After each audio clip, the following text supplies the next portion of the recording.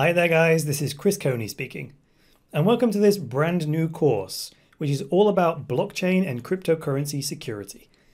What could be more important than security? It's got to be the number one topic, right? Now, you might hear me say this multiple times throughout this course, but here it is. Losing money because you buy a cryptocurrency, which then goes down in price, that's one thing, but having your cryptocurrency stolen from you is the worst since you don't just lose some of the value, you lose all of it. It's kind of like an investment that goes to zero, guaranteed. So when it comes to a breach of security, the loss is often total. That's why security is like the number one most important thing, and the thing that just too many people don't take seriously. Now, I can tell you many, many stories uh, of people who came to me and unfortunately, they came to me after they lost their crypto, or after they got scammed, or after they got robbed. But in almost every case, unfortunately, it was after the fact, meaning there was nothing I could do for them. You know, I'm an educator, which means I'm in the prevention business, not the recovery business. You ever heard that phrase, prevention is better than cure? Is true. So that's why I'm in the prevention business.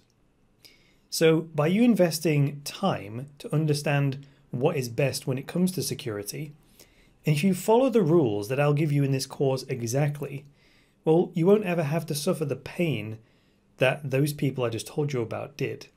It's not necessary. However, it's not just about avoiding pain, all this security stuff. It's also about feeling good. And what I mean by that is, when you're educated, you know what you're doing. And there's nothing worse than not knowing what you're doing. That's what gives you the anxiety. When you do know what you're doing, you get a sense of certainty, a sense of certainty, and a sense of confidence. And that's just a good feeling. So that's what we're going for. That's actually how we'll know if the course has been effective or not. If at the end of it, you've gone from anxiety to confidence, that's a big bonus. So, like I said, anxiety comes when you just don't know what you're doing. You, will even hear yourself say, I just don't know what I'm doing and you're scared to do anything in case you do it wrong. That's anxiety. We don't want that. That actually will make cause you to make mistakes with security and make you lose your crypto. But we need to replace that with a feeling of confidence. That confidence needs to come first so that you can confidently take actions in crypto knowing it's the right thing to do. So by the end of this course, I can assure you will know exactly what you're doing and you'll have the confidence that comes from that. So when it comes to uh, security, uh, an attacker only needs to find one opening, right? This is why it's absolutely crucial that you follow this course all the way through to the end. You need to follow it all the way through to the end because an attacker only needs to find one opening. And then if you skip lessons or you don't finish the whole course, you may leave a gap in your knowledge, which means you leave a vulnerability for someone to exploit. Don't let that happen, right? The worst stories are when people didn't even know they were being scammed at the time when it was happening. Most people figure it out long after the fact.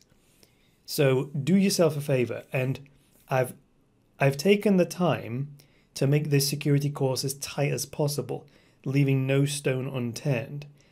But there's nothing I can do if you skip a lesson.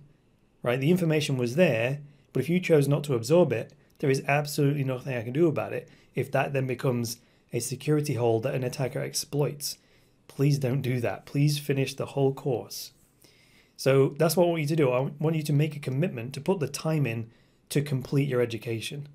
I've took the time to create it. I think is of the utmost importance. All you have to do is go through the course. It won't make any difference to my wealth, right? Um, I'm following my own rules, right? But it will affect me if I hear any more stories about people losing their crypto through hacks or mistakes. And the tragedy of that is that they're all preventable if you know the principles that you're about to learn in the security course. So please do that for me. Please work your way all the way through the course and uh, and concentrate. I've broken it down so each lesson is an individual topic, so it's easy to understand. But please go through it and mark all the lessons off. But that is all for this lesson and an introduction. Until the next lesson, it's me, Chris Coney, saying Bye for now.